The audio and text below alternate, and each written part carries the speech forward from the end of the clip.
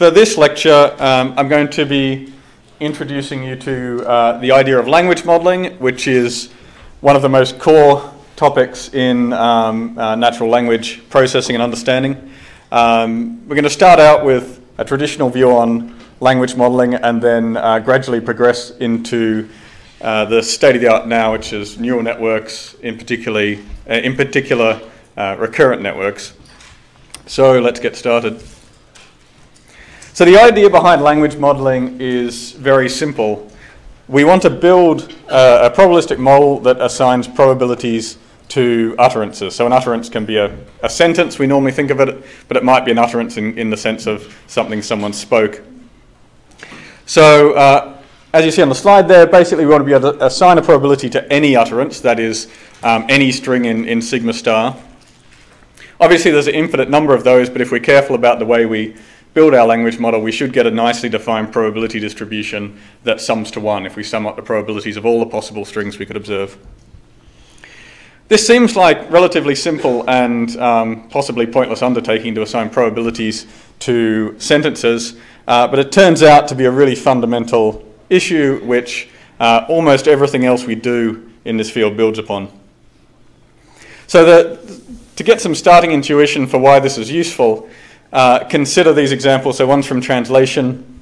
So if we have the two utterances, he likes apples and apples likes he, if these are possible hypotheses from our translation system, we want to be able to get uh, probabilities for each one and compare them and say, well, I probably think that it was the first one, because that seems more likely that that's what was said.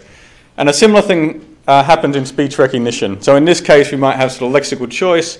Both of the utterances are syntactically plausible. The first one, he likes apples, seems uh, more semantically plausible. And if our uh, speech recognizer is giving equal probability to both, our language model can uh, uh, split that probability and, and, give us an idea for which one is likely to be preferred. So this is the basic idea that by, by getting these probabilities we can compare utterances. Um, we can also generate them um, and also ask all sorts of interesting questions about them.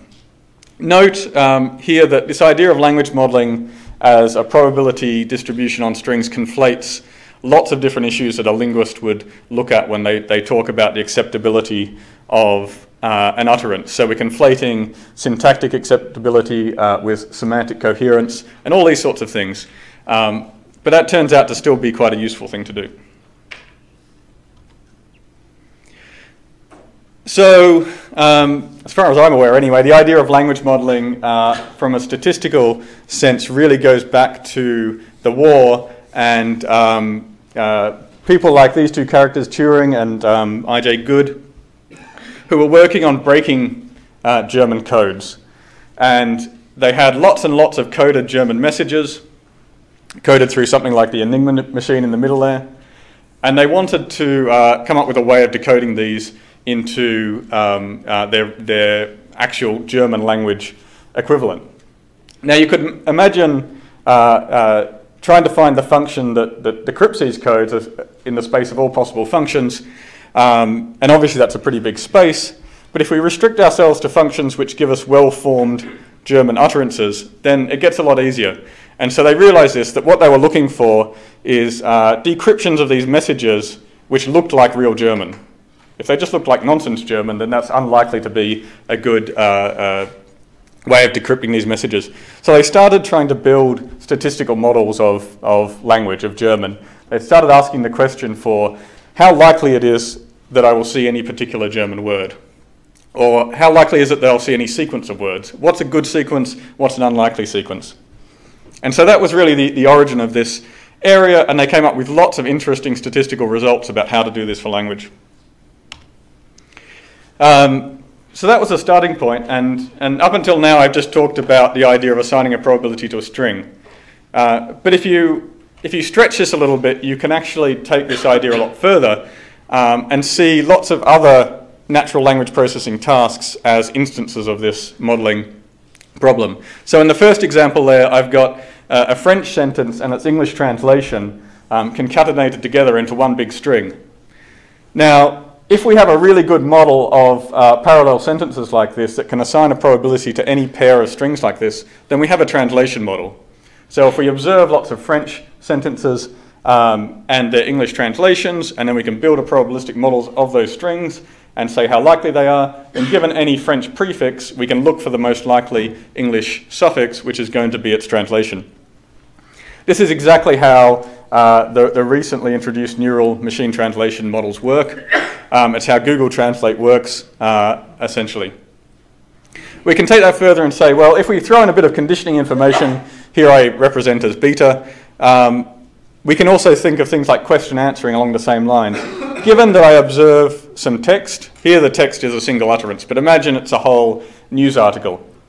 So we observe a long string of a news article, um, and we want to ask a question, then uh, we can see that again as sort of what is the probability of seeing this news article, seeing this question, and then seeing this answer. Uh, obviously, we wouldn't model them all in, in a big bulk way like that. We'd break it down somehow.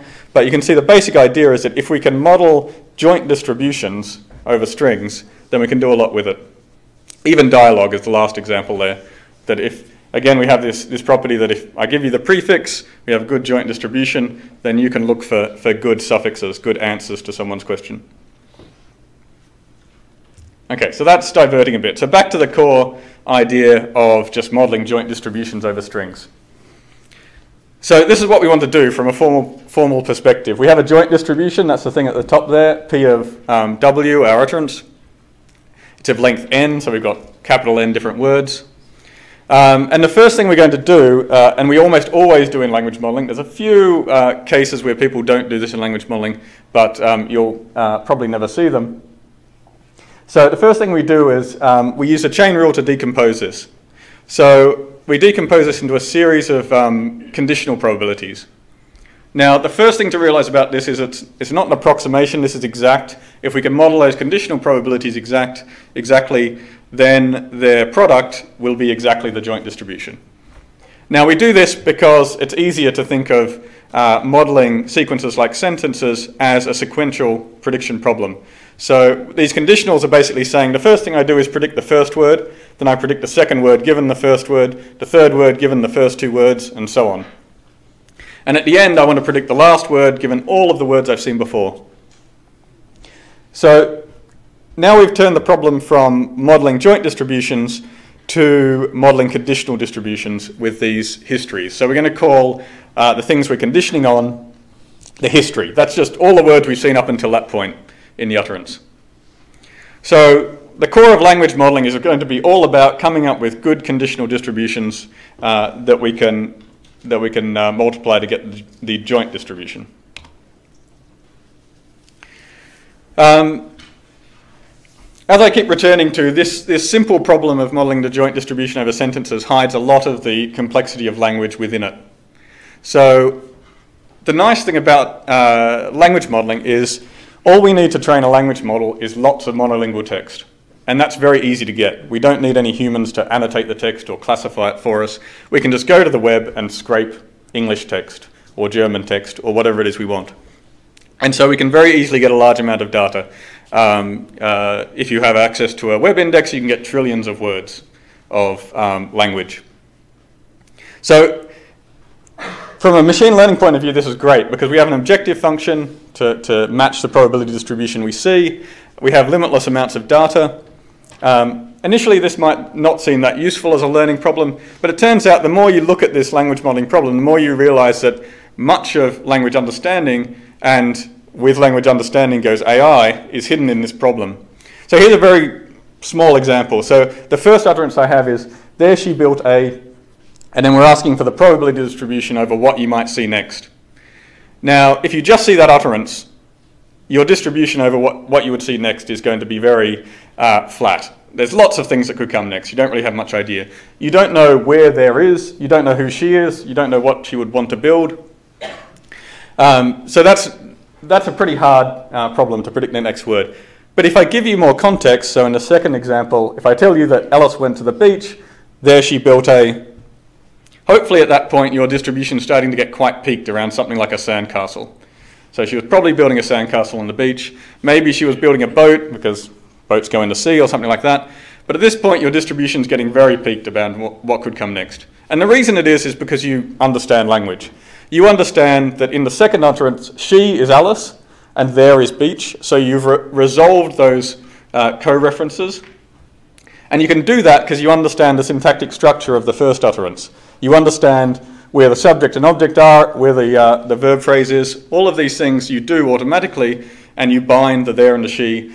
And then using the semantics that uh, at a beach, the th sort of things you might build are sandcastles or things that go in the water, you can uh, constrict your distribution. So if we can get a uh, automatically trained machine to do that, then we've come a long way to uh, solving AI. So, so this is a cool problem. We have limitless amounts of data and we have an objective function which hides a lot of um, uh, reasoning and intelligence within it. Whether we can get access to that depends on, on how far we can go with the modeling. So the first thing you should worry about any new task like this one I'm introducing is how do we evaluate it? So uh, the simplest and obvious evaluation is that if we're talking about probabilities, then we're probably training to match the, the probability distribution. So we probably want to hold out some test data and then ask with our, our model what is the probability of this test data. We, we normally do that in the form of the cross entropy, which is just equivalent to, to asking what probability does this model assign. Uh, the cross entropy has this nice intuition that you can think of it in terms of the bits you would need to represent the distribution. So it gives you this nice intuition. And that also connects it to uh, compression. Now, as an aside, if you've ever studied text compression or something like that, you might realize that the problem of assigning a probability to a string and text compression is exactly the same problem. So if you have a good language model, you also have a good text compression algorithm. And both we think of in terms of the number of bits we can compress our sequence into. More commonly in language modeling, you'll hear people talk about the perplexity, and that's simply just the, um, the cross entropy raised to the uh, power of 2, sorry, 2 raised to the power of the cross entropy. And you can sort of think of this from the, the name sort of gives you a clue of surprisal or, or um, uh, how surprised the, the language model was by what it saw next. Um, if it's not at all surprised, you'll get a perplexity of 1. So if it always knows what's coming next. So that's, that's evaluation. So generally you'll see, uh, especially when we're training our language models to predict words, you'll see people report results in terms of perplexity.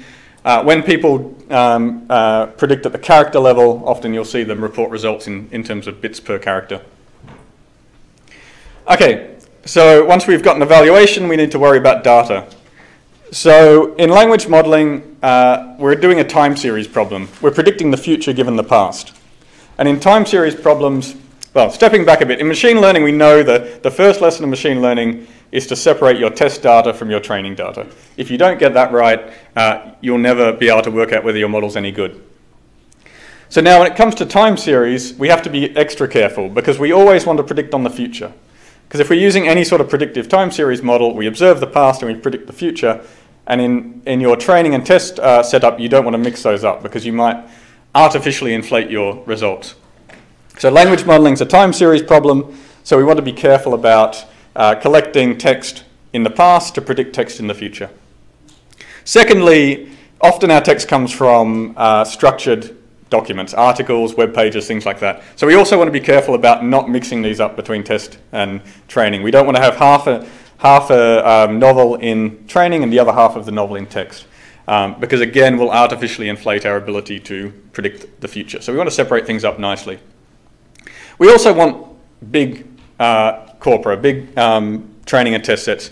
Uh, if you want to do language modeling um, in the wild, in industry, uh, you need to be training your model on billions of words at least. Um, we do this on a large scale. A lot of um, research papers report results on quite small data sets, but if you want to be confident your model works, uh, in practice, you need to, to get to those large, larger data set sizes and also larger vocabularies. So in the real world of, um, well, I don't know if the web is the real world, but uh, places like predicting text on the web, predicting translations for Google Translate, the actual vocabulary you need is, is big. Um, it's, it's at least in the hundreds of thousands, possibly millions of possible words you could predict. So you want that in your data as well. Um, if you look at various papers, um, possibly ones that I'll point to, um, possibly ones that I've um, uh, co-authored, you'll see people often use the Penn Treebank, a particular version of the Penn Treebank which has been processed in a, um, a, not very useful way, or what's called the billion word corpus, um, which is a bigger corpus for uh, evaluating these models. Um, I suggest both of these are flawed and you should probably not use them and we should really stop using them, um, but for some reason we keep, do, keep using them. So the Penn Treebank is very small, so that goes against what I said about using big data. It has a, the, the vocabulary has been artificially um, uh, restricted, so that's also not very representative. And also it's been processed, so it's been lowercase, the punctuation's been removed. All of these things take it further away from what we might think of as a real language. Um, in the billion word corpus, there was the unfortunate decision made to uh, randomly sort the sentences in this corpus before splitting off the training and, and test sets. And if you think about that, that breaks both of the, the rules I said about separating out the future from the past and also making sure um, uh, articles in the test don't overlap with articles uh, in the training data set. So um, try to resist the temptation to use these data sets. Um, we're still somewhat lacking in good data sets for some reason, despite how easy it is to produce these things. But uh, things like the Wikitext datasets that I referenced there are, are, not a bad place to start. There's a small one and a big one, so you can start small and then get bigger. Or you could create your own and put it up on the web for everyone to use. Okay, so that's the intro. So I've done some history and some background and told you a bit about evaluation and data. And so from now on, let's talk about uh, models. And um, uh, to give you an idea of where we're going to go, we're going to start out talking about very simple count-based, what we call n-gram models.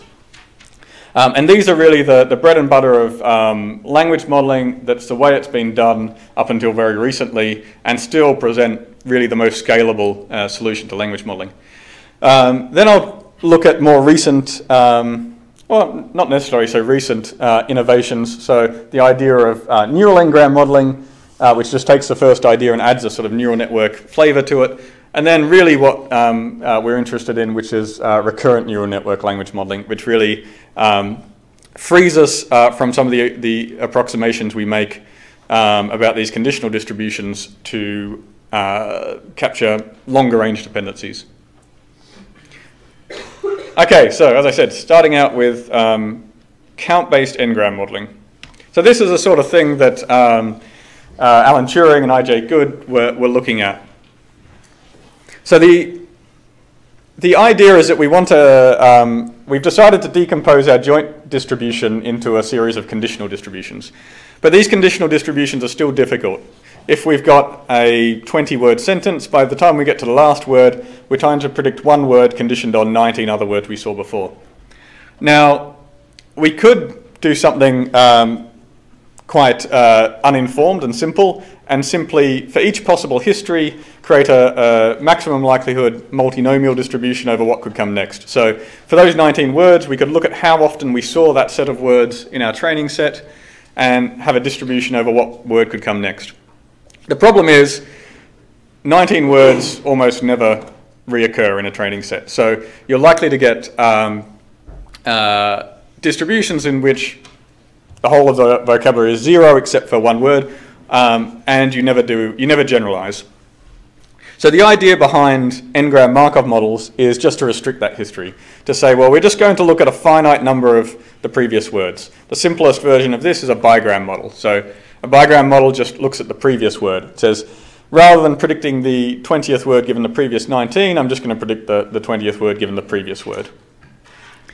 Um, so in the case of my example of there she built a, we would predict that next word just given the word a. So we would look at which words had a good distribution after a. And you can see the limitations of that. We've thrown away the, the context, but that makes it much easier to estimate the distributions. Now the parameter we can vary here is n, the n-gram length. So um, you can expand that, you can make it a, a trigram, four-gram, etc. And you'll get um, more exact distributions, but at some point you'll stop seeing those distributions often enough. So in red there I've highlighted this key idea. We've taken the um, joint distribution, we've decomposed it into a series of conditionals, and then we've approximated these conditionals uh, using a bigram Markov assumption. Um, now, as I, I, sort of alluded to there, it's very straightforward to estimate multinomial distributions for these models. So if I have a trigram model and I want to know the probability of some word W3 after W1 and W2, all I need to do is look at the number of times I observed those three words in my training corpus, divide by the number of times I saw the, the two words in the history, and that will give me the probability of seeing that third word uh, with a simple maximum likelihood estimate. So that's really simple. That, that's the training of this model. Just collect your counts, divide, um, and you've got a maximum likelihood estimate. And now you can see why this is very scalable. This is very easy to do uh, on vast amounts of data. Um, in fact, trillions of words if you're careful about the, the engineering. Um, this suits architectures like MapReduce. If you've seen uh, MapReduce architectures, Hadoop, these sorts of things before, it's very easy to do uh, in these architectures. So this is exceptionally scalable um, and uh, easy to do. The downside is that um, simply doing what I've described there gives you bad estimates because maximum likelihood is not um, uh, a great estimator for this um, sort of problem. So imagine these two um, examples. So we've seen, so we, we're trying to score the probability of the trigram Oxford Pimm's eater versus Oxford Pimm's drinker. And it's quite possible, it's quite likely that we'll never have seen either of these in our training data because they're not the most likely uh, uh, sequences of words. But they're perfectly uh, semantically um, coherent to us, except for maybe the Pimm's eater one. Um, so both of those are going to come out with count zero. So we're going to come out with probability zero of seeing either of these after Oxford Pimm's. And that's not very useful because we really want to be able to differentiate them. So the obvious solution, and um, the, the way this works in uh, most, well, all n-gram language modeling, is we have some sense of backoff. So we want to take our trigram estimate and we want to smooth it with a bigram estimate. So we want to say, if we're not very confident uh, about the next word given the previous two, let's look at the next word given the previous one. And if we're still not confident of that, let's just look at the probability of the next word. So here this corresponds to dropping the word Oxford from the context and just looking for Pimm's eater versus Pimm's drinker. Now, it's much more likely that we'll have seen Pimm's drinker in our corpus, so hopefully we would assign it a higher probability. So this is the basic idea of um, uh, back-off or hierarchical smoothing of language models. Now, um, there is a huge number of ways to do this, and the sort of traditional art of language modeling is coming up with ways of mixing these different distributions together, conditioning them on the, the current context, and all sorts of things. Uh, the simplest approach uh, is basic linear interpolation. Now, you wouldn't actually do this because it's a bit too simple, but it gives you a flavor of the sorts of things people do. So here we can just say that we've got three estimates, one from the trigram, one from the bigram, and one from the unigram. And we're just going to weight each one by lambda, lambda 3, 2, and 1. We assume that the lambdas sum to 1 because if they do sum to 1, then we'll still have a well-defined probability distribution. If they don't sum to 1, then the thing on the left won't be a, a well-defined probability distribution. So that's, that's the simplest approach, just linear interpolation. And that will get you some way to um, a good language model. In fact, um, as I said, there's lots of fancy ways of doing this interpolation, conditioning these lambda weights on exactly what the history is, all sorts of things. There's an idea called discounting, uh, which adds a, an aspect of uh, nonlinearity to this. Um, uh, these are all, all great for language models built on a certain amount of data. Turns out that once you go past sort of a trillion words or thereabouts, simple things like this actually work, um, work very well. Um, often people don't even normalize the, uh, the counts properly. Um, there's something called uh, stupid backoff, which is an approach to, to, doing this, which was introduced at Google, um, which dispenses with all the niceties of uh, normalizing distributions, but still works quite well once you have um, a great deal of text. They don't work on small amounts of text. Anyway, the, the most um, popular approach, and if you look at n-gram modeling and the sort of uh, model anyone would put in a paper as a baseline will be something called Kneser-Ney um, which, if you have the chance, is really worth understanding because um, it's a beautifully engineered algorithm. Uh, so there's a wonderful survey by um, Chen and Goodman that I referenced there that tells you all about the different ways of smoothing language models. Um, the art to smoothing language models is to try and get the, the posterior distribution um, from the language model to match that which we see in real language. And the thing about real language is that um, we see power laws in the frequency of um, words, something called Heap's law. So that is, we see some words that are very frequent, and you can imagine what they are, things like the and are. And then we see a very long tail of words which are very infrequent. And that tail never really goes away. So you're always likely to see more words. Um, and this is why partly that language modeling is hard, because you'll always see new words. Um, and also why uh, uh, classic AI techniques like rule-based AI uh, don't work for language. It's because no matter how many rules you write, there'll always be a long tail of uh, phenomena, words, syntactic structures um, that you haven't seen. Uh, and the payoff from writing uh, more rules diminishes as you go further down the distribution. Anyway, I recommend having a look at that to understand that. Partly because none of our newer models uh, really capture that aspect. So there's a big gap now still that um, uh, is waiting to be uh, filled. Okay, so that was n-gram language modeling very quickly. Um, what I presented was a bit of a caricature of, of n-gram language modeling. If you actually want to do this in practice, you need to read about things like Kneser-Ney and, and the more complicated smoothing techniques. But it gives you a flavor that n-gram language modeling is about basically doing lots of counting, um, interpolating together different um, n-gram orders, and coming up with a probability distribution. This is good because it's very scalable. Um, it's extremely fast, both to estimate, because there's no training loop as such in, the, in most of the models. Um, it's extremely fast to get a new probability. So if you want to score a, a sentence, um, like in a speech recognizer or a translation system, um, assuming you've indexed them in some way, it's just a single lookup. You just look for the probability of that word. Um, uh, possibly over the hierarchy of the n-grams, you might need to look down the n-grams, but it's, it's essentially constant time. So that's, that's fast, much faster than the models we'll talk, on, talk about later on. Um, the, the bad news is that uh, as you increase the n-gram order, you see less and less of those n-grams. And there's a, there's a point where maybe past 5 grams or thereabouts where you just don't see these n-grams often enough to get a distribution. So there's diminishing returns. And it means that you can never really capture long-range dependencies. So for instance, the example I gave at the start about um, Alice going to the beach and building a, a sandcastle, an n-gram model is, is exceptionally unlikely to ever capture that, the dependency between Alice and she. Um, it's just too infrequent, the data, for to be captured with n-grams. Um, the symbolic nature of these models, that we treat all the words as different symbols, uh, misses a lot of the interesting um, aspects of language. So my example here is we don't capture any relationship between, say, cat and dog. Cat and dog are going to occur in similar context. So if you have a context like, I like to pat something, uh, dogs or cats, um, these words are correlated. These models don't capture that. Um, these correlations are often most apparent in things like morphology. There's not that much morphology in English, but if any of you speak, uh, say, Romance languages, French, Italian, um, or Slavic languages, Russian, or even Turkish or something like that, you'll know that words can be a lot more interesting than they are in English. So you get a lot more internal structure. Um, and that means there's a lot more correlations between them. So things like gender, agreement, all of these things are not captured well by, by n-gram models. So that's, they're the sorts of limitations, and they're the sorts of things that the models I'll talk about next uh, really start to, to improve upon.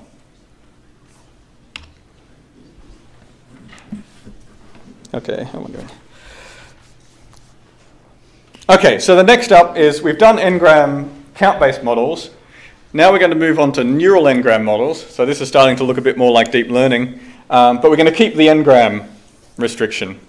So there's a natural evolution here. So rather than simply counting words, counting n-grams and normalizing, uh, we're going to use a neural network to predict that distribution for us.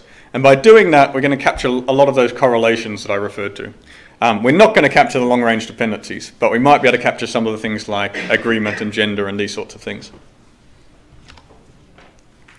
So just a very simple refresher. Here's our old friend, the feed-forward neural network. Hopefully you're all very comfortable uh, with something like this. We have an input x, we have a hidden layer h, and we have an output uh, y.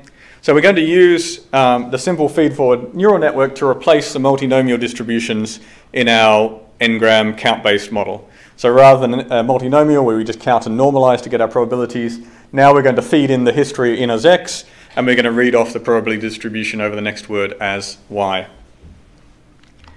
So this is what this looks like in a bit more detail. So here uh, I'm being explicit in having a trigram model. So we have two inputs, the previous two words, wn minus 2 and wn minus 1. Um, so in our earlier example, that, that might be built A, and then P is our distribution over what should come next, hopefully with a big peak around Sandcastle. Um, and H, of course, is our hidden layer. Um, I put subscripts n on these to say that now we have n of these in our, in our sequence. So at each, each point we have a feed-forward network at each time step. So we've got our standard um, our hidden layer uh, formulation at the top there. Um, here I'm just concatenating together the inputs to, to make life easier. This is exactly the same as having two linear transformations, v times wn minus 1 and uh, uh, z times wn minus 2. We just concatenate it together to make it more concise, and also if you implement it that way, it'll be faster.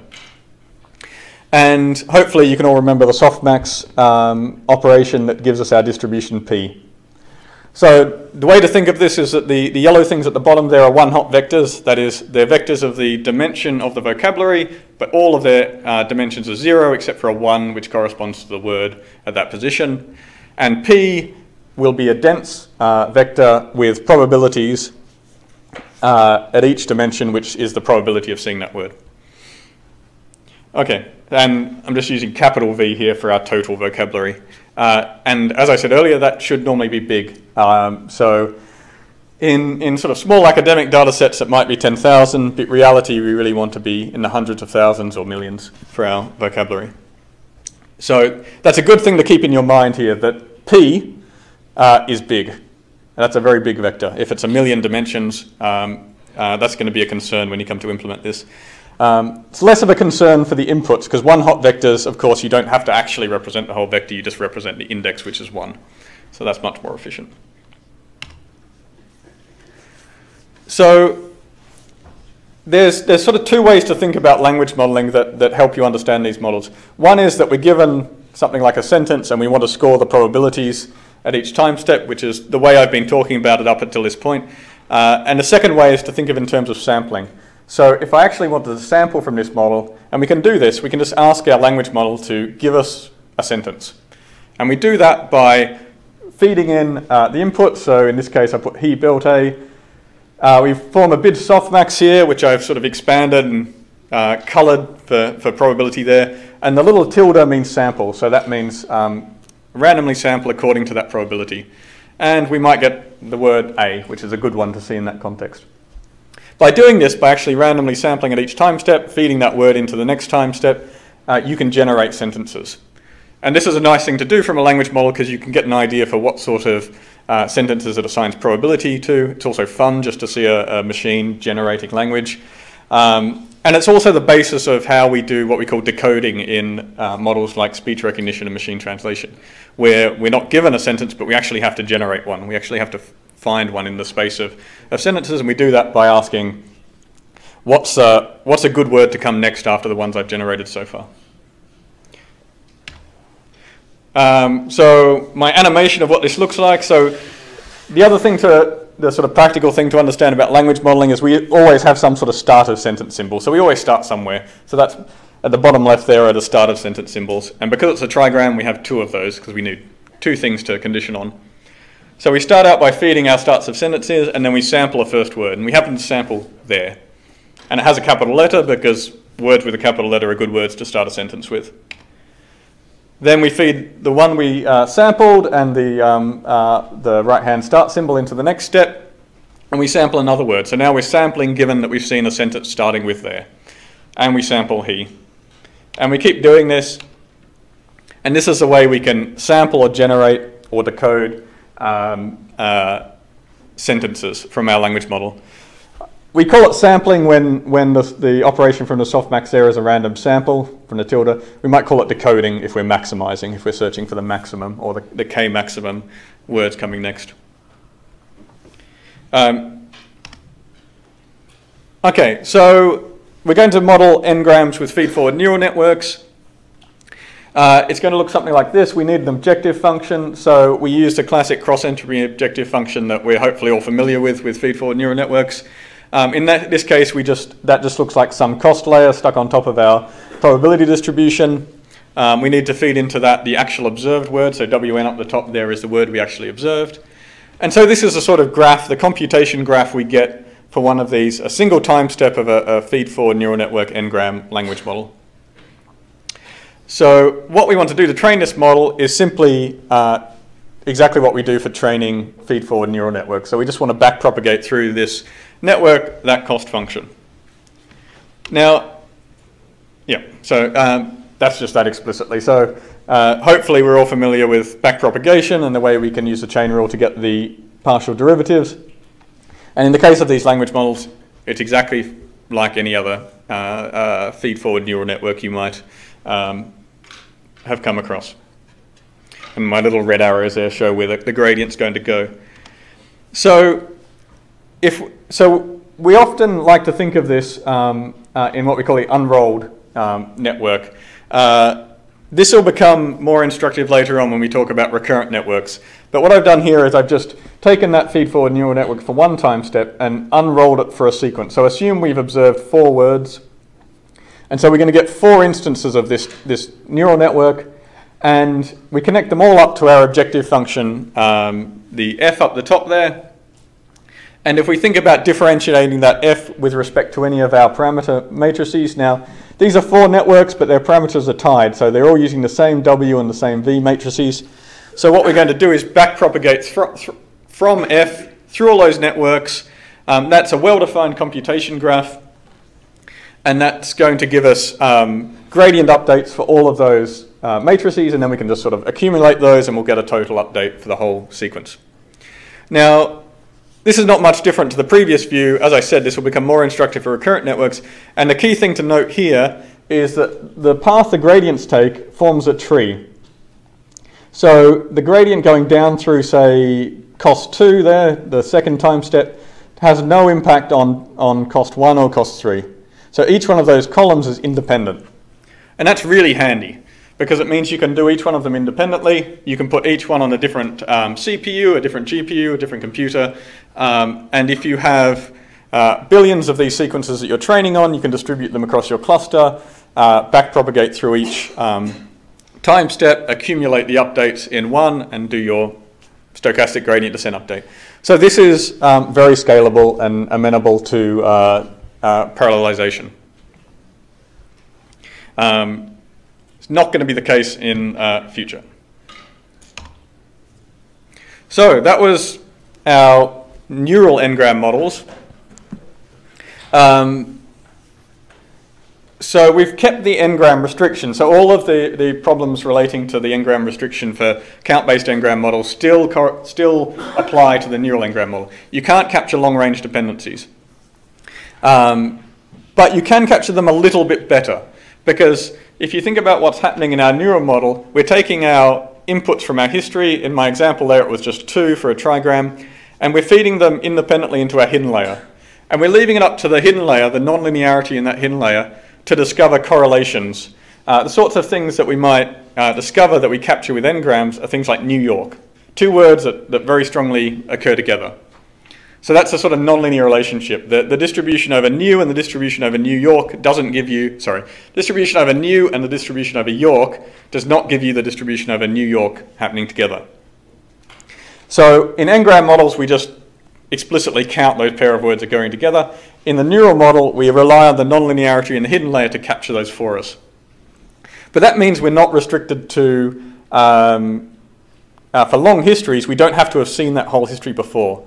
Imagine we see a long history and just one of the words in the middle is different to um, anything we've seen before. So we've seen that history a number of times, but we've not seen that word in the middle. Our neural network's still going to feed all those inputs in, and it's going to give something very similar to if that um, uh, word in the middle had have been the one we saw before. So we're going to get correlations between histories which share a high number of uh, words are going to give us uh, hopefully reasonably similar distributions. Um, so uh, an example in English might be something like if we've seen lots of uh, the blue cat, the red cat, the green cat, then we've never seen uh, the brown cat, but the fact that we've seen the something cat is still going to come out with high probability. It's also going to come out even better than that because the neural models do capture correlations between words. So the fact that we essentially have a word embedding layer in our neural network means that words like red and brown and green are going to end up with similar uh, representations because they occur in similar contexts. So now where our count-based model would not have captured that these things are colors and, and share distributions, our neural model will. So in our example with the brown cat, if we've never seen a brown cat, uh, we're still going to get very high probability for that um, because we've seen lots of other different colored cats. Um, so the, the downsides um, are not that big really. So the number of parameters scale with the length of the history. For every extra word you want in your history, you need another transformation matrix. But that's, that's linear in the history length, that's okay. Think about our n-gram count models, they actually scale almost exponentially in the, the history lengths because every time you add a new um, extra word to the history, there's almost an exponential number of combinations uh, to go with the previous words. So um, uh, the scaling in terms of parameters is actually pretty good. So a neural n-gram language model comes out in memory much smaller than the count-based models. Um, but as I said, all of the problems that uh, occur with the count-based models of finite n-gram history still, uh, still apply here. That if the dependence you want is five words ago and your history is four words, you won't capture it. Um, the final little point there is I said that in the n-gram count models, people have spent a lot of time worrying about um, lovely distributions that match the true distribution of language. Um, no one has really spent much time worrying about that for neural networks, so mostly we still train them with maximum likelihood, and we know that maximum likelihood is a bad objective for language. So there's still, it would still seem that there's, there's plenty of room for improvement if we think about objective functions a bit more, for a bit Bayesian and think about what the right prior distribution is uh, for language.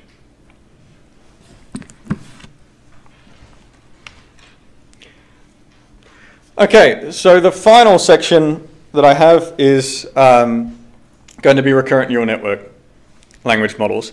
So, uh, and recurrent neural networks are essentially the sort of meat of this deep NLP course. So this is going to be a introduction to recurrent neural networks and just the basics. And then in the lecture on Thursday, I'll go into a bit more detail about the specifics and uh, issues and implementation problems you'll face with these models. But in this case, let's just uh, gently move from feed-forward networks into recurrent networks. So the idea here is quite simple.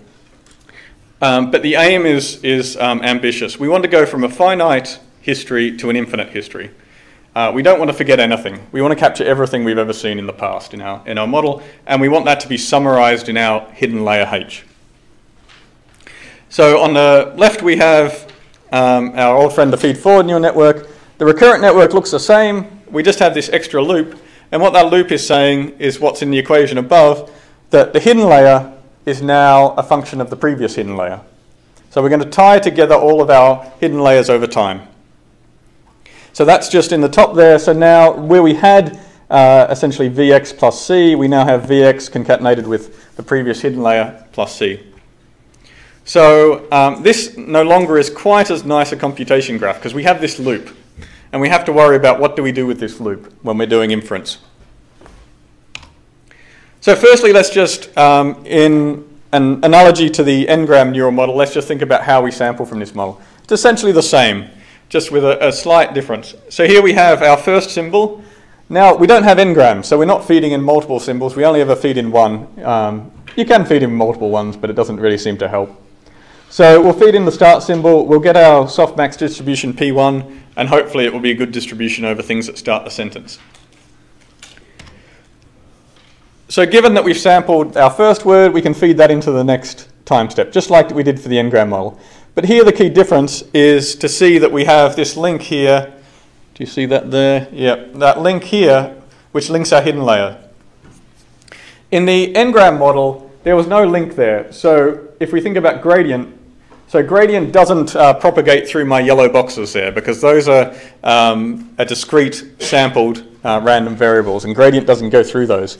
So in the n-gram language model, there was no gradient flow from that second time step to the first one. Now we have that link across from H1 to H2, there is going to be a gradient flow and that's going to uh, uh be something we need to worry about. So just like the n-gram model, we can sample one at a time from this recurrent model. Um, each time feeding in one input from the previous time step and the previous h. So this looks very similar, but think about a key difference here. Previously, we summarized our history with wn minus 1 and wn minus 2. That was our summary of the history, those two words. Now our summary of the history is wn minus 1 and hn minus 1, the previous hidden layer. And so hidden in that hidden layer is going to be all of the things we've ever seen before, hopefully. So to come back to that question of gradient, so here's our feed forward network. The gradient flows nicely straight down. Um, but our recurrent network, if we look at it in this way, again, it flows straight down except for this extra loop. And we don't really need, know what to do with this loop if we're doing our, our, if all we've ever learned is our standard backpropagation algorithm. So that's, that's a slightly difficult way to look at the model. But if we come back to what I showed you earlier, the unrolled version of the model, it becomes a bit clearer what we need to do. So now I've unrolled on our four time steps of our, our single utterance. Um, first little detail to note is we need a, we need a first uh, hidden layer to start with. Previously we needed um, our uh, start, two start symbols for our n-gram. Now we're going to need a start symbol and a, a start hidden, hidden uh, layer.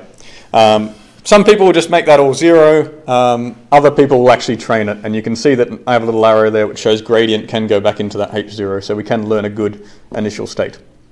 Okay, so again, we have our objective function. It's exactly the same objective function, cross entropy.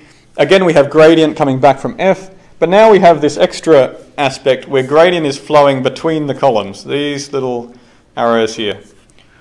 So it's no longer the case that we can break up these columns, these um, networks, and give them to different uh, CPUs or calculate them independently. Now we have this problem that everything um, seems quite dependent on other things. So if we look at that more explicitly, so let's take one of the partial derivatives. Let's look at the, the way the uh, objective function f changes with the second hidden unit, so h2. If we think about what's going to influence h2 from those gradients, all of the time steps after h2 are going to flow gradient back into it. So previously, gradient would have just come down that column from, from cos2. Now what's coming from cos3 and cos4 are all, all feeding back into h2. So this tells us that we can't independently calculate that gradient. So now we can't split these up, we have to treat these as a single unit.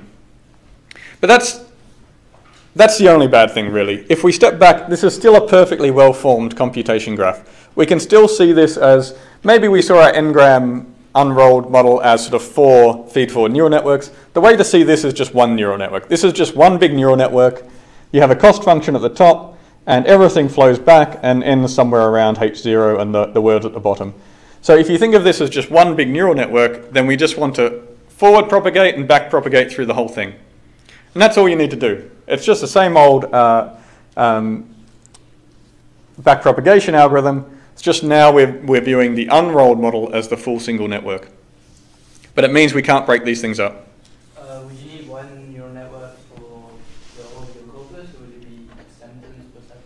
So this is so you have to decide what your sequences are, your utterances. So you might want to run um, a neural network over an entire news story. Say, um, so you have a BBC news story. Um, later on in the course, we'll talk about answering questions from news stories, and so you might want to run your network over that whole news story, and at the end, uh, predict what the answer to a question will be. Now, if you think about that, you're going to get one big neural network for the entire news story. News stories um, average somewhere around 1,000 words or 2,000 words. That's a lot of time steps. Um, that's a lot of memory on your computer, and it's going to be very hard to do. So then you're going to start thinking about how should I break this up? So you can break it up into sentences, but then uh, where you break things, there's not going to be any gradient flow across those breaks. Um, so that's a, that's a, a key point, and in the next slide, I'll get to one solution to that. So this is backpropagation through time. It sounds like a, a, new complicated algorithm, but the key way to approach this is just it's just backpropagation. The key thing is we've just unrolled the graph on our full utterance. As, as we were just discussing there, we have this problem that this scales linearly with the lengths of our longest utterances. So if we have lots of short utterances, this is fine.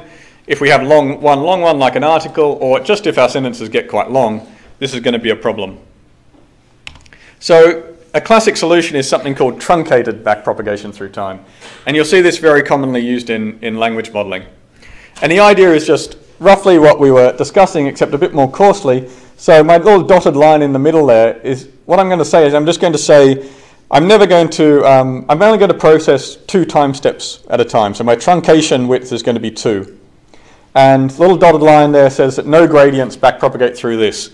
So this is an approximation. I'm just going to break the gradients there. Um, if we do that, and now if we look at the, the gradient flow, we'll see that for H2, the only gradient comes through cos2. Cos3 and cos4 now have no influence on H2. Um, if we look at H1, it will still be influenced by H2, but not H3 and H4. So truncated backpropagation through time, what we do is we just take our long sequence and we just say at some fixed interval, uh, normally it's something like every 10 steps or 20 steps or 50 steps, uh, we'll just break the gradients. And so we'll just chunk up that long sequence into uh, 20 word segments. A key thing to realize about um, truncated backpropagation through time, and really the only uh, computation that you, the uh, complication that you have to worry about, is that we do forward propagate through the, the break, but we don't backpropagate. So what we do is we process those first two, we store what H2 was at the end. We do our forward propagation through H1 and H2, our back propagation through the cost functions. We do our, if it's a mini batch, we do our gradient update. But we've kept what H2 is, and then we feed H2 into H3 when we do our next um, uh, segment. So that means our forward propagation is still exact. It's still exactly what we would have got if we did the full um, back propagation algorithm. The only thing we've changed is the way gradients are back propagated. That means it's, if you think about this for a while, you can sort of get your head around what this means. It means that in training, um, if you see certain dependencies within a, a, a, a segment that's been truncated, you can learn them. If those dependencies are always across segments where you've broken them, you'll never learn them because a gradient will never flow back and tell you that something in the previous segment was useful in the next segment. Um, but if you see them within a segment, then you actually have a hope that at test time you'll be able to predict them across segments because we were always forward propagating across the segment. So if you think about that for a while, you can realize that if you th see things often enough within a segment, then you can learn to generalize them across segments. But you have approximated, so this is an approximation. It does heavily um, hurt the model's ability to get longer range dependencies. Okay, so they're really the key, um, two key algorithms. Oh, there I'm just showing that um, Yes, for H2, the, the gradient no longer flows through H3 and H4. So that these are the two key algorithms you need for, for um, RNNs in general and RNN language models. Now, the classic choice that you'll make um, along the lines of what we discussed earlier is how to break up your, your long corpus, because I said you maybe you've collected a billion words of English. You don't want one billion word sequence, so you're going to have to break it up. You can use truncated backpropagation through time and just say, I'm going to break it up every um, 20 words or 50 words.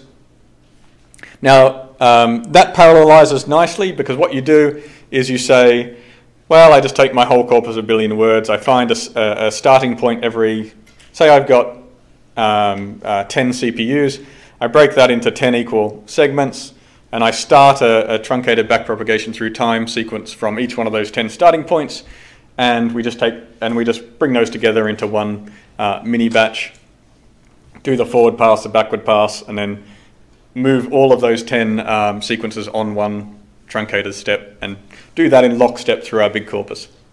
So um, at the bottom there, what I'm saying in this, um, these little diagrams uh, is that the nice thing about truncated backpropagation through time is that all of your sequences have exactly the same length. If your truncation limit is 50, all of them are length 50, except maybe for the last one if it didn't quite fit. Um, so in uh, deep learning, we're always trying to, to mini batch things.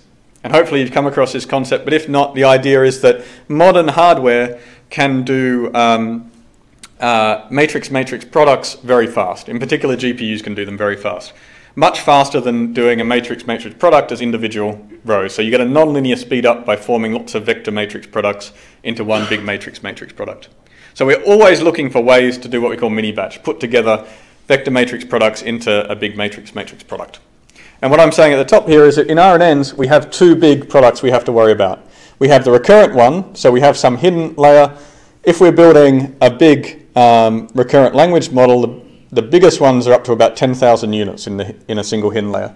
So the transformation matrix we have there, um, V on that recurrent layer is going to be 10,000 by 10,000, so 100 million um, uh, floating point numbers, and that's a big vector matrix product. And that's going to take a little bit of time, so we want to do that really fast.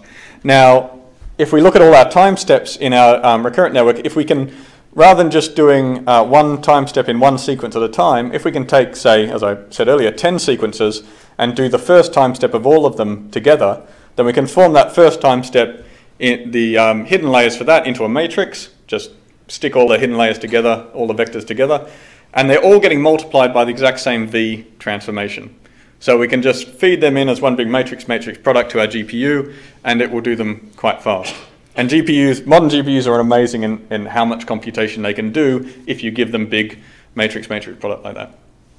The, the first little diagram there is if we're doing back propagation through time and we have lots of sequences like sentences, they're probably going to be different lengths. So if we just break our corpus up into sentences rather than fixed intervals, uh, when we look at our mini batch, we end up with something like that. We end up with a sort of raggedy right edge. So, um, and when we, um, GPUs do some things really fast and they do everything else really slowly. So they don't like exceptions. So when you feed something like that to a GPU, it just treats it like a big um, uh, fixed sized um, uh, problem to deal with. So basically, the amount of computation is going to just be proportional to the longest sentence you have which is bad if you have one 200 word sentence and lots of 10 word sentences because all those 10 word sentences are going to get might get batched up with that 200 word sentence and you waste a lot of time.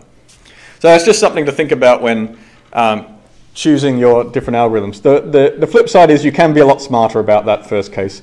Um, and uh, next week, hopefully Jeremy from NVIDIA will come and talk to you about GPUs and um, NVIDIA's uh, um, deep learning library has some nice sort of under the hood optimizations for all of these cases. So you don't, if you're using that, you don't really need to worry about it, but you can, um, or it, it's useful to understand that there's these different trade-offs. Okay, so that was the, the, um, our first introduction to recurrent networks.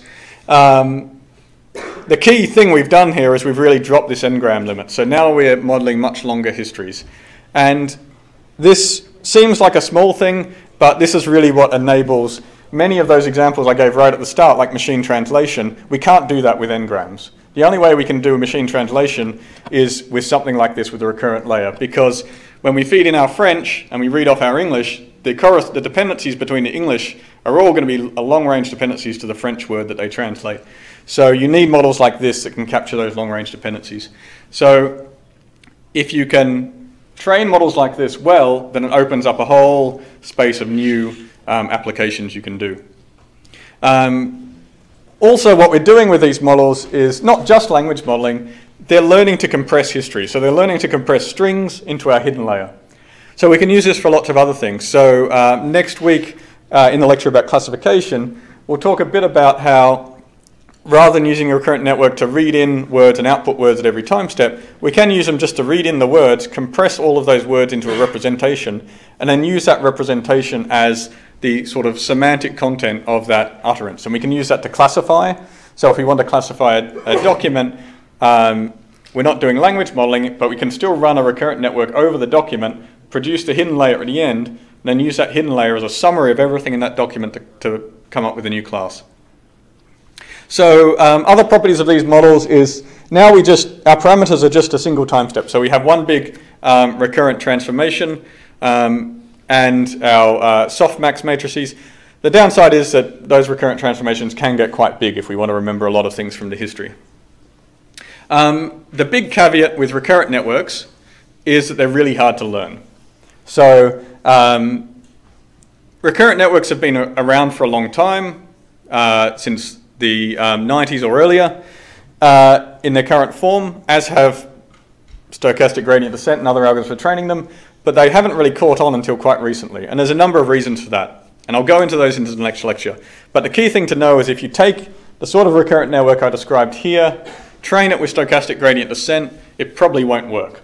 It probably won't give you a worse result than the, the um, neural models and the count-based model. Um, but you have to think a bit more about uh, what's going on with these models. It's just not that easy to remember everything in a vector. Um, and also the caveats with the neural n-gram model still apply. Like we're still mostly using maximum likelihood for some reason. Okay, going on to a bit of more of a esoterical theoretical comparison. Um, we have this space of models that we've been talking about, and we can think about this in the classic machine learning sense of a bias variance trade-off, which hopefully you learnt in your Introduction to Machine Learning course. So as a, as sort of straw man or, or uh, com comparison, consider a language model where instead of breaking things down into conditional distributions, we simply memorize each sentence we see and we say the probability of a new sentence is just the, the frequency that we've seen it in the past. So um, the, we see a new utterance, we say how many times have we seen this exact same utterance before, divided by the total number of utterances, and that's the probability of that sequence. Now, obviously that's a terrible model of language because you hardly ever see the same sentence twice. So almost every sentence you see will have zero probability. So that's a bad, uh, bad language model from generalization point of view. But the key thing to understand is it's an unbiased estimator of the max of maximum likelihood estimator. So in the limit of infinite data, that will give you the true distribution, which is a nice property. The problem is um, it requires infinite data. So it's a very high variance estimator. That is, if I give you any sample, um, you're probably going to get a, a distribution that varies um, uh, wildly from the true maximum likelihood distribution. So that extreme is high variance, but unbiased. If we look at our n-gram models, they're biased. So if our distribution, if our true distribution contains long-range dependencies beyond the n-gram order, then uh, we'll never be able to match it. So no matter how much data we have, our n-gram model will never give us the true distribution. It'll always be biased, it'll always be off. But the upside is it has much lower variance because we're not trying to count these big long sentences, we're just counting these small um, n-grams. So we see them much more frequently, and so after a few million words, we've probably got quite good estimates, and our estimates won't change that much. So with our n-gram models, we've accepted a bit of bias um, to trade uh, for less variance. Now with our recurrent models, we're trying to have the, the best of both worlds. We're trying to get rid of the bias, so we're now trying to uh, uh, memorize entire histories. We've not restricted our dependencies. But we're also trying to get um, lower variance because given small amounts of data, smaller amounts of data, we should converge to something close to the distribution much more quickly. Um, the bias is going to depend on exactly how big our hidden layer is. Obviously, to memorize infinite data, we're probably going to need a infinite hidden layer or a very big one. But it's an interesting um, uh, opportunity to step back and think about these different range of models from that point of view of we're trading bias for variance, um, not always in equal amounts. Okay, so we're coming to the end here. I've thrown in some references that you might like to read. There's a huge amount of information now in recurrent networks on the web and lots of really good blogs. Um, uh, lots of graduate students are writing really clear and well illustrated uh, blogs that um, lecturers like me mine for lectures. Um, so look those up. Um, Andrej Karpathy has a nice one about um, modeling with recurrent neural networks. It will use some of the ideas that I'll talk about in the next lecture. Um, if you read that one, you should re really read Yoav's um, response to that blog, which says that actually count-based models um, also can behave in this way. Both, reading these blogs should um, teach you something about the difference between generalization and memorization. So it's a key question to ask yourself. Um, there's also lots of problems with initializing these models, and um, Stephen Merity talks a bit about those in his blog. And there's also a great chapter in the deep learning textbook, which is online and, and free, uh, that you can read and find out more details about these models. So that's it for today. As I said, that was my introduction to um, uh, basic language modeling and uh, basic recurrent neural networks. On Thursday, we'll dive a bit deeper. We'll look at the problems with training these models. We'll look at architectures which overcome these problems um, and what happens when we want to make these models deeper, wider, etc. Okay, thank you. Oh, feel free to ask questions, sorry. That's, that's a question. Uh, there.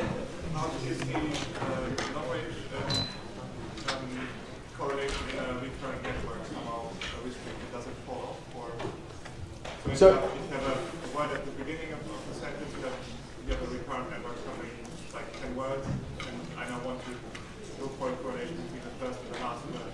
Is, is that somehow, is there a restriction there? Yes, it gets harder and harder. These things have a sequential nature, and it gets harder and harder to, to, to discover dependencies the further you go back in time. And this is really uh, a learning problem. So these models can represent them, but the question is, can you learn them? And the, the further they are back in time, the, um, the weaker the signal is going to be. We're going we're to be a bit more exact about this on Thursday, but the weaker the signal will be, and so the harder for the model to discover them. But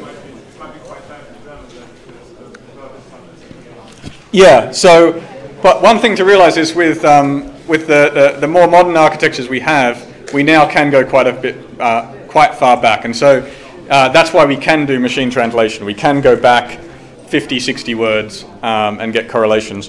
And we can also do, to a limited extent, simple question answering in this way, where we can read 2,000 words of an article, ask a question about, um, uh, that essentially asks the model to, to find a context that a word appeared in, and it will be able to find it. Um, the, a lot of whether the model can get these long range dependencies depends on how much other noise is going on as well. So in language modeling, there's a huge signal from just the local uh, information. So in language modeling, the previous four words or so give you about 90% of the signal. So most of the time, that's all you need for the distribution. What were the last few words? And then a little bit of the distribution comes from what, what came on way back. So when you're trying to learn these, that you get this really strong signal from those recent words, and it tends to mask out what, what happened long ago. If you have a problem where you don't have that, where the signals, you don't get sort of uh, a, a much stronger signal covering a, a longer one, then you can often learn longer dependencies. So it all depends a bit what the nature is, how much noise there are, there is, how clear these things are in the data. But the first thing is you should always start out skeptical. Don't just assume that these dependencies exist, therefore my model will find them.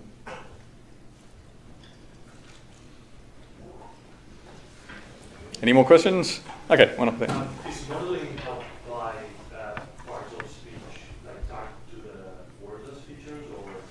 So um, not really once you've got a certain amount of data, especially for English. So um, these models, uh, so on the, in the previous lecture we talked about word representations.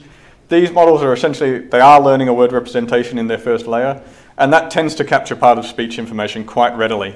So if you train these models on a lot of data, they've pretty much already discovered a lot of that information in the, the, the part of speech. Um, if you have a small amount of data, then that can help them with that information. Or if you have languages which are very um, uh, lexically productive, so morphologically rich. So, for instance, Turkish, where you have a much bigger vocabulary than English because you keep sticking words together, having um, some sort of syntactic information that tells you that this huge word you've seen very infrequently has this particular function um, can be more handy. Were you going to? Um, do people ever initialize the weights in recurrent models with what they learned in a neural language model? Um? You mean like an, going from an n-gram model to a recurrent model? I've not seen anyone do that. Um, I mean, people try initializing them with um, word embeddings learnt with like word2vec or something like that. Um, again, if you have any sort of significant amount of data, and in language modeling, in that case, it's we're talking a pretty small amount of data. It's not going to to help. So even with small data sets like Penn Treebank and things like that, people aren't initializing with um, uh, word word vectors. If you have a significant number of out of vocabulary words that you just don't see in your training data, but you do see in your sort of word2vec data, then then you might get something out of that. But the the things that the models are putting into those vectors are a bit are different enough that it's better to just learn them from the, the data you have. And the thing about language modeling is anytime we're doing language modeling on a small amount of data, it's probably reasonably artificial. So it's just not that hard to get vast amounts of data in most popular languages. Obviously, there's a few languages which are very rare and it's hard to get data for, but um, for any European language, uh, it's easy to go and find a, a, billion words of that language online um, uh, very quickly. So, yeah.